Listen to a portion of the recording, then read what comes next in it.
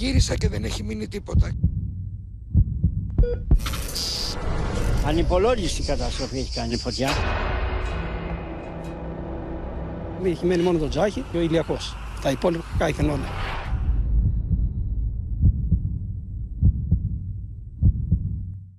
Μια ζωή ολόκληρη να, να φτιάξουμε ένα σπίτι, να μείνουμε με τα παιδιά μας, με την οικογένειά μας. Δεν έχουμε τίποτα άλλο. Αυτό είναι το, η περιουσία μας. Ήταν ο γιος μου εδώ και πάλεψε πολύ σκληρά με τη φωτιά μόνος του. Απόψε πού θα μείνετε; Εδώ θα μείνουμε, στη βεράντα.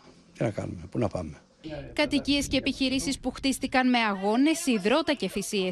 Πάλεψαν και οι ίδιοι μαζί με τους πυροσβέστες και τους εθελοντές. Αλλά δεν μπόρεσαν να σώσουν τις περιουσίες τους. Η ζωή τους ξαφνικά πήρε στροφή 180 μοιρών.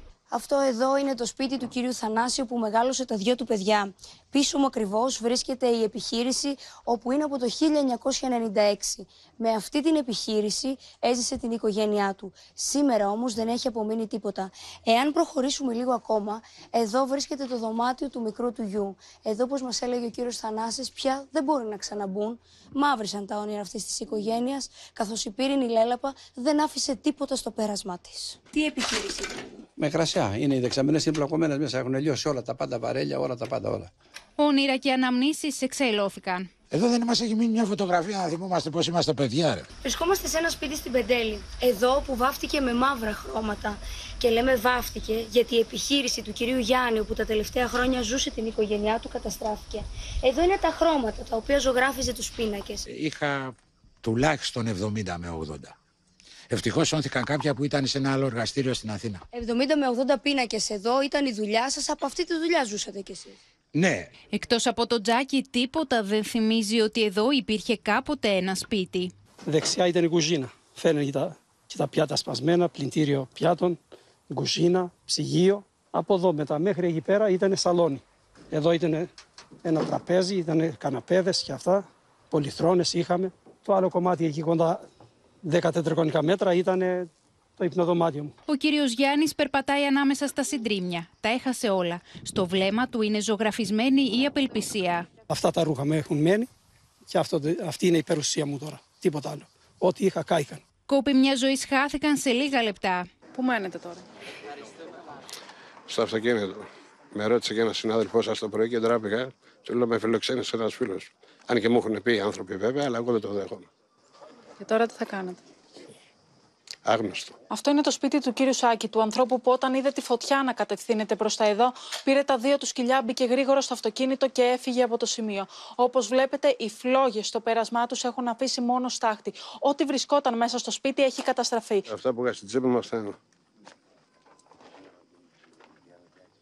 Και είμαι τυχερό που η αδελφή μου δέχτηκε τα δυο σκυλιά. Το μαύρο κυριαρχεί παντού. Το πράσινο έχει εξαφανιστεί. Από όπου πέρασε η φωτιά άφησε την απόλυτη καταστροφή. Γυρνώντας σε αυτές τις γειτονιές, βλέπεις σπίτια που έχει απομείνει μόνο ο σκελετός τους. Τρεις ημέρες πριν έσφιζαν από ζωή. Δεκάδες οχήματα καμένα. Το σπίτι πίσω μου έχει καταστραφεί ολοσχερό. Τα κεραμίδια που βρίσκονταν στη σκεπή έχουν πέσει μέσα στο εσωτερικό του σπιτιού. Τα αλουμίνια έχουν λιώσει και τα τζάμια έχουν σπάσει από το θερμικό φορτίο. Συγκλονίζουν τα λόγια της κυρίας Κατερίνας τη στιγμή που το σπίτι της είχε τυλιχτεί στις φλόγες. Εκείνοι μαζί με τους γειτονές της βοηθούσαν να εκενωθεί μια δομή ηλικιωμένων. Σε αυτή την ηλικία τώρα να με άστεγη, αυτό εδώ το σπίτι είναι το μόνος σπίτι που είχα.